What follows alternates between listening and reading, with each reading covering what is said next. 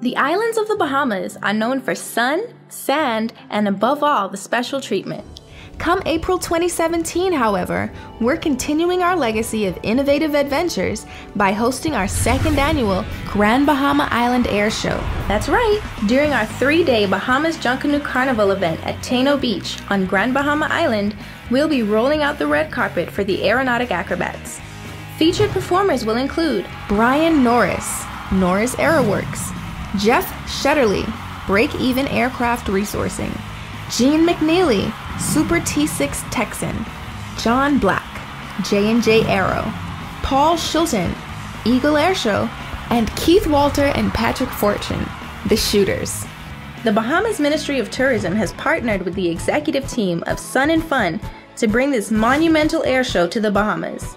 And with an event designed to coincide with the country's uber successful cultural festival, you can surely expect a big splash.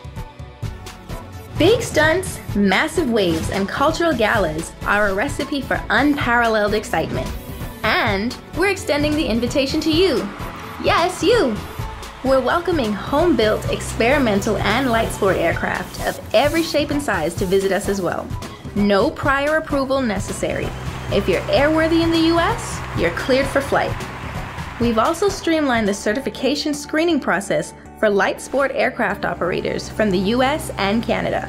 Once your aircraft, whether vintage or amateur built, meets the certified FAA and Bahamas Civil Aviation Department's airworthiness standards and safe navigational regulations, you're accepted. That's right, April 2017. You and your aircraft soaring over the beautiful Bahamian waters.